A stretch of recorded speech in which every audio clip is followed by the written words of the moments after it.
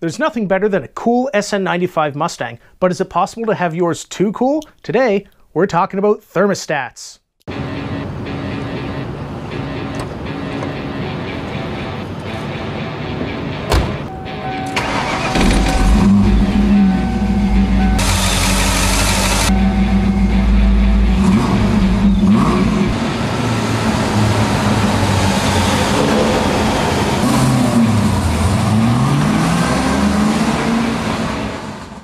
Hello and welcome. I'm Darren and this is the SN95 Owner's Guide. This is the series where we cover everything that is SN95 Mustang, 5-liter V6 and beyond. As always, we begin with mailbag items. If you're new to the channel, I'd really like to welcome you and please ask that you stop down below, grab that subscribe button. We're trying to build the channel to a thousand subscribers and we really like to have you along for the ride. Typically we would feature a partner channel or another interesting series, but we don't have any new ones for today. However, if you've got an SN95 channel you would like to have featured, give me a shout out. Also, if you have an Instagram account where you cover Mustangs, especially SN95s, I'd be happy to give you a shout out and show your channel off and your feed to everyone out there in the SN95 world. That taken care of, let's move on to the main topic for today, and that is the engine coolant thermostat found in your Mustang. Now, usually we touch 5 liter stuff recently, but this is going to apply to the V6 owners, the 5 liter owners, and the 4.6 liter owners almost universally. So let's get into that. The engine thermostat is literally a heat controlled valve. It operates closed until it reaches a certain temperature and then it will open allowing coolant to flow past it. This will allow fresh coolant from the radiator to circulate through the hot engine and take away any of that destructive heat while allowing it to operate properly.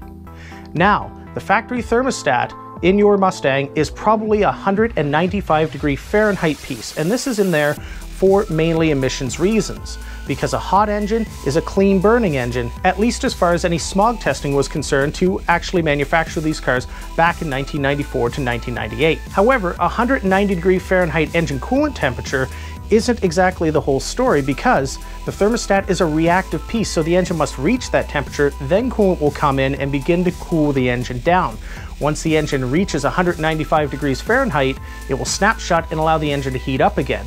So for us, looking for a few extra horsepower, that's not really the best way to go about business. And it's often thought, well, what can I do to make the engine cool more efficiently? Because cooler is faster to a limit anyway. One of the easiest ways to improve cooling is to change your thermostat from that 195 degree Fahrenheit piece. The most common performance piece you'll find is a 180 degree Fahrenheit thermostat, and you can find this data usually stamped on the outside ring, indicating when it opens. If you're unsure, you can also test it with a pot of boiling water and a thermometer. Next in line behind the 180 degree thermostat, you may find a 170, a 160, and some people even suggest running a thermostat delete where you completely remove it from the system and allow the water pump to flow at maximum velocity throughout its entire pumping range. The powertrain control module monitors the engine coolant temperature all the time, and it makes a lot of very important and critical decisions off the values that it reads from that sensor. So it's very important for us to make sure that the temperature is working in line with what the computer expects to see and really needs to work. Is what I've done is I've grabbed a couple of tables from Binary Editor. This is the tune from my own vehicle. And in these three tables, you can take a look at and you can see that there are some temperature references there. And you'll notice that there's a breakpoint around 160 degrees Fahrenheit. Here we have the adaptive fuel table. You'll notice that it has a very interesting breakpoint at 160. And then we take a look at idle versus ECT, engine coolant temperature. Uh, notice there's again another breakpoint at 160 degrees Fahrenheit, as well as our final table, our fuel open loop. Again, 160 is a very common value. So what does this mean? Well, at 160 degrees Fahrenheit or below, the engine will actually go back into open loop. That means it will stop referencing the oxygen sensors and other parts of the system that it uses to do accurate and concise fuel controlling. But is going into open loop a really big deal anyway? Because at wide open throttle, that's the normal operating condition. So why not go that way? Well, in a closed loop system, using the oxygen sensors, the computer is able to test, adjust, and trim your fuel in real time. It also is able to apply adaptive fuel strategies that it's learned over your operation of the car. That's right, in your area, your vehicle has learned what its atmospheric conditions are and you're operating to a limited degree and it has been able to trim and hone your fuel injection to suit your driving standards. So what happens when we're driving and we go back into that open loop mode, which is effectively cold start mode for the common terms? Well, fueling becomes less precise. Generally, you run rich, you'll experience higher rates of fuel consumption, your part throttle drivability will generally suffer, and I have noticed this myself. I have a 2003 SVT Lightning that had a 180 degree thermostat installed, and during the cold winter months when I was using it, it would occasionally trip a code indicating that it had gone back into open loop and fuel economy was terrible, about a 30 or 40% loss just cruising around in an annoying check engine light. Now your SN95 may not trigger a check engine light, but rest assured that if it's going in and out of closed loop as you're driving, it is not doing you any favors for driving enjoyment or fuel economy at all. So what's the best thermostat to run? I run and recommend a 180 degree Fahrenheit thermostat. This is a really good fits all. It will definitely get your engine coolant temps down and allow the system to work a little bit more efficiently. However, a 170 degree thermostat in certain places or climates may be the right suit for you. Because what you want to avoid is having an engine that overcools and dips below that 160 degree Fahrenheit threshold.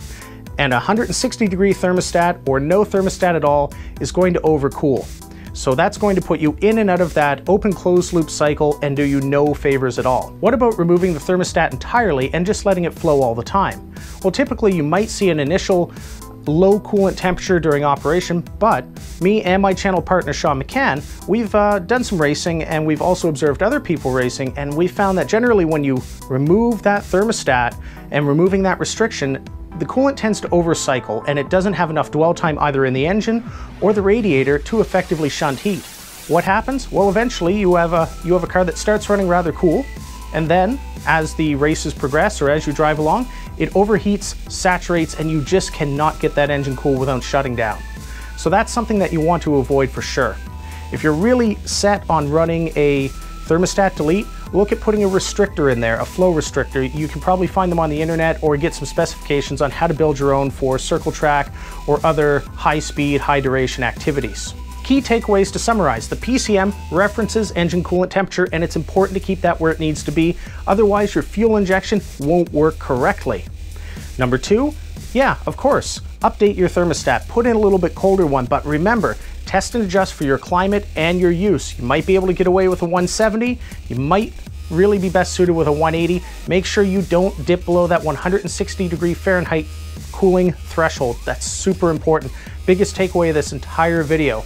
And number three, I appreciate that thermostats are not the most glamorous topic for us, but there's a lot of newcomers to the hobby and it's really important to educate them on everything that we've learned up to this point. We've had over 25 years to take a look at these vehicles and really learn, so it's important to share that again. But again, I would like to thank you for joining us and please like, share, and subscribe, and I will see you next time. Later.